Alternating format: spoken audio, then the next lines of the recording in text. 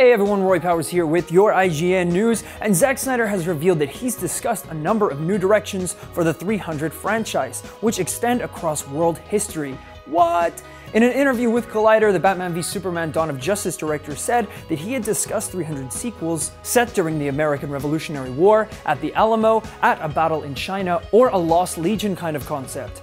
Now, this isn't the first time Snyder's mentioned such an idea. Earlier this month, he mentioned the idea of a film about George Washington in 300 style. Hopefully, kicking people into wells, screaming, This is America!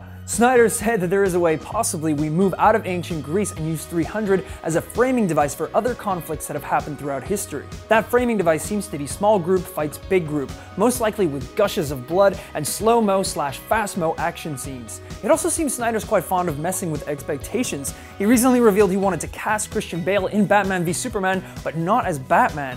What a weird thing to want to do. For the latest news on possible 300 sequels, stick with us right here at IGN.